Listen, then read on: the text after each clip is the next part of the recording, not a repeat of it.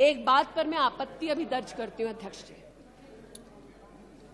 कि जिनको आज मुझसे पहले वक्तव्य देने का अधिकार दिया गया, उन्होंने जाते जाते एक अभद्र यहाँ पर लक्षण के दर्शन दिए। It is only a misogynistic man who can give a flying kiss to a parliament with seats female members of parliament. ऐसी गरिमा विहीन आचरण को इस देश के सदन में कभी नहीं देखा गया ये उस खानदान के लक्षण है ये आज सदन में देश को पता चले